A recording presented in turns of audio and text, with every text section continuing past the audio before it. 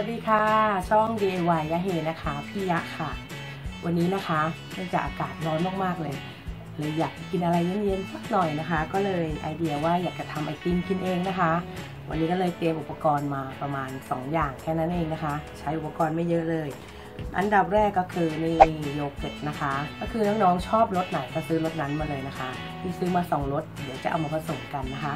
แล้วก็อีกอย่างหนึ่งอยากจะเติมเข้าไปก็คือ นี่เลยช็อกโกแลตนะคะ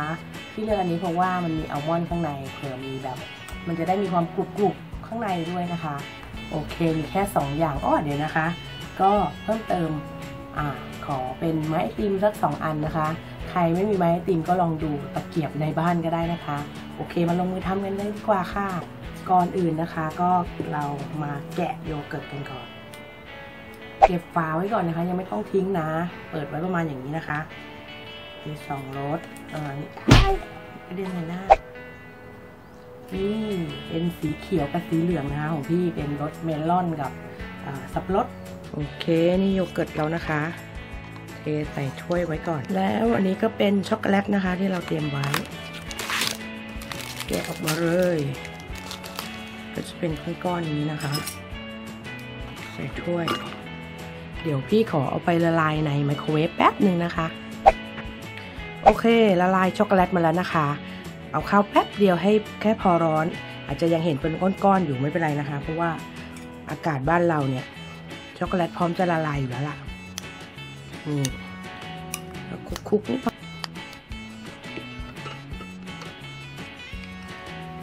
โอเคแค่นี้ก็พอแล้วนะคะ ทีนี้เราก็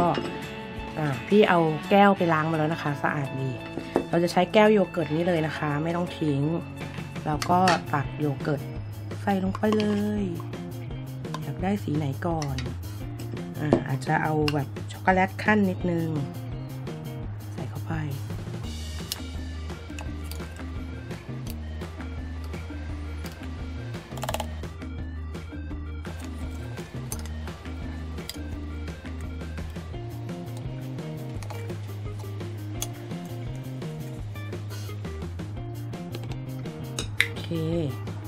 พอแล้วนะคะ แล้วก็จะปิดฝา แล้วก็ใช้ไม้ไอติมนี้นะคะ เสียบลงไป นี่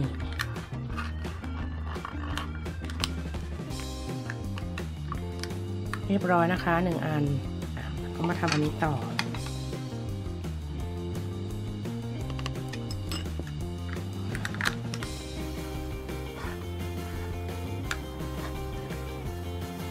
เรียบร้อยแล้วนะคะไอติมของเรา เดี๋ยวขอเอาไปแช่ช่องฟรีซนะคะ โอเคนะคะ เราก็ได้ไอติมของเรามาแล้วนะคะ เอาออกมาจากช่องฟรีซแล้วนะคะดูนะคะไอติมของเรา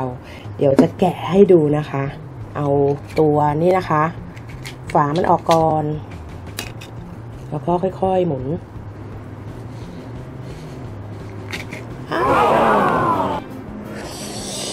นี่เลย แท่งแรกนะคะ ก็หน้าตาไม่ได้ว่าจะสวยอะไรมากนะ โอ้ย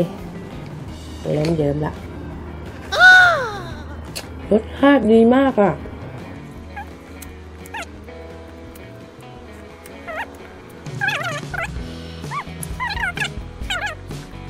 คืออีกแท่งหนึ่งก็เหมือนกันนะคะ เพราะว่าพี่ใช้วิธีผสมสองอย่างนะคะ รสชาติมันก็เลยจะเป็นรสชาติเดียวกันนะคะสองแท่งนี้ อร่อยมาก รสที่พี่ทำนะคะก็จะเป็นมีสองรสนะคะโยเกิร์ตเป็นเมลอน เป็นรสเมลอนนะคะ แล้วก็อีกอันนึงเป็นสับปะรด แล้วก็แซมด้วยช็อกโกแลตอัลมอนด์นะคะ อร่อยมากเลย มีความกรุบกรอบโยเกิร์ตก็จะรสเปรี้ยวๆหอมๆกลิ่นเมลอนกลิ่นผลไม้นะคะ แล้วก็จะมีความหวานของช็อกโกแลตนะคะ แล้วก็จะมีความกรุบกรอบของอัลมอนด์ เมล็ดอัลมอนด์ที่อยู่ในช็อกโกแลตอัลมอนด์เรานะคะ น้องๆก็สามารถเอาไปดัดแปลงนะคะ โดยใช้โยเกิร์ตรสที่น้องๆชอบกินนะคะอาจจะเป็นรสสตรอเบอรี่รสอะไรก็ได้ แล้วก็ลองหาดูแบบเครื่องเคียงนะคะในเซเว่นก็ได้ก็จะมีพวกช็อกโกแลตคอนเฟลกอะไรพวกนี้ก็ได้ค่ะลองผสมเข้าไปนะคะ แล้วเอาไปแช่เย็นอย่างนี้โหก็ได้ไอติมอร่อยๆโอเค คลิปนี้ถ้าชอบก็อย่าลืมกดไลค์กดแชร์พี่ด้วยนะคะและที่สำคัญอย่าลืมกดติดตามนะคะ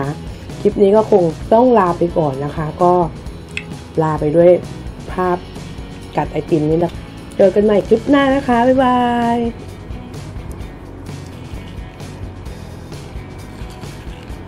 อืม